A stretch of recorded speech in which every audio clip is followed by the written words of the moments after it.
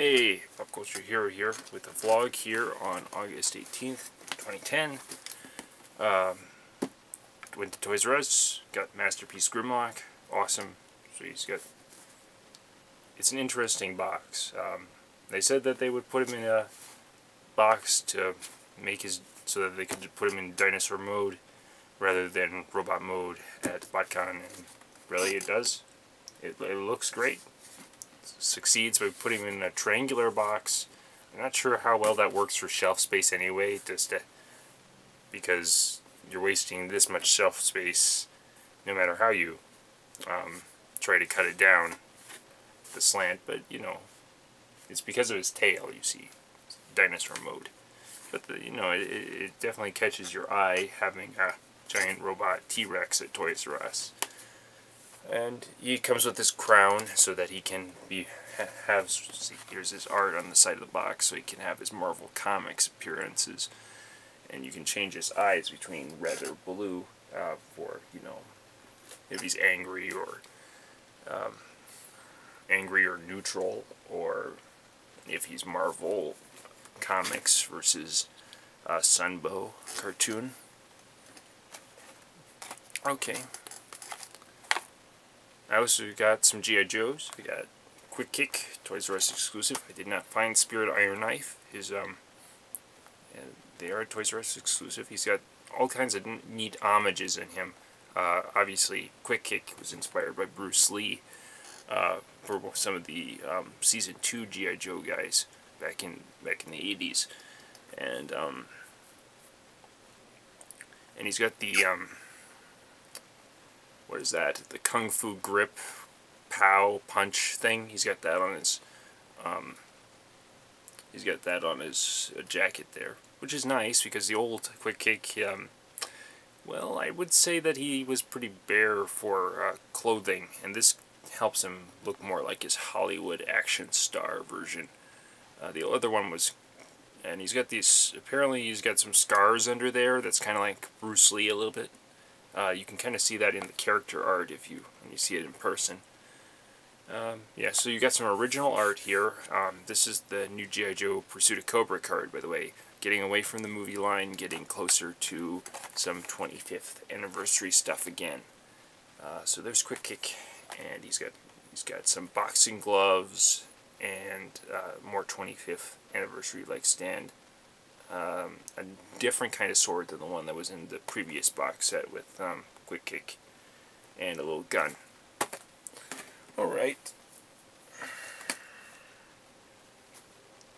Uh, so here's something a little bit more mainline. I got Firefly with his alternate heads and titanium battle armor and battle armor wrist guards and stuff.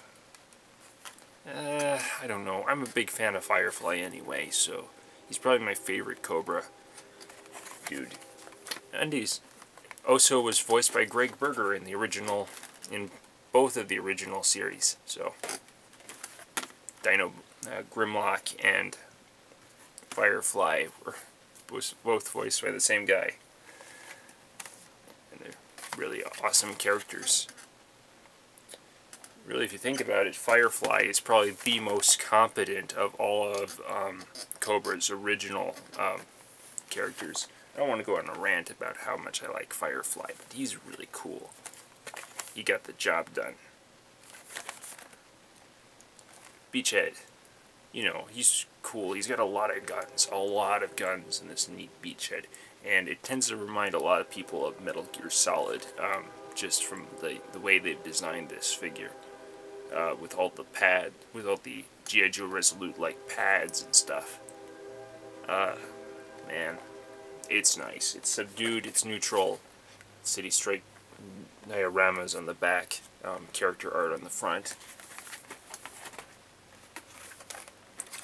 Arctic Threat Snow Job, who um, is a sort of a carryover from what we thought was going to be a Toys R Us exclusive, but here it is in the main line.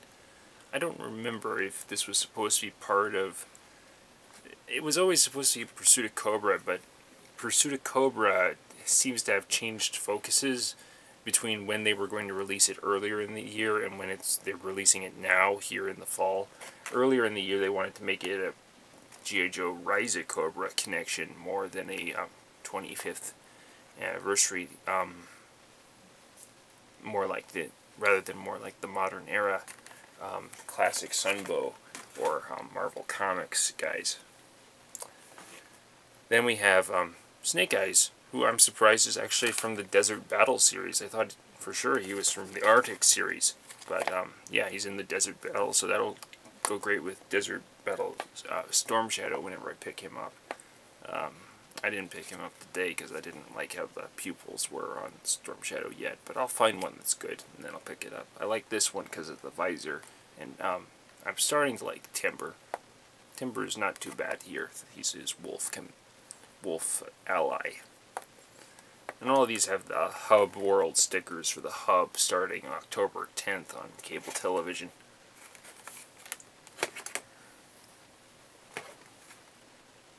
And finally, the Alley Viper. Uh, so it's a nice, single-carded Alley Viper. It's, I don't know, it, it works partially. The bright orange is more traditional, and this is supposed to be like he's guarding a warehouse for Cobra um, fighting Beachhead as his rifle. So, a bunch of these guys. You're supposed to have an army of them, but I, I'm not really that into this Alley Viper design so much. Uh, but, you know, there's lots of helmets so you can customize them. I got it, so I can finally play around with my Alley Viper rather than leaving it in the box.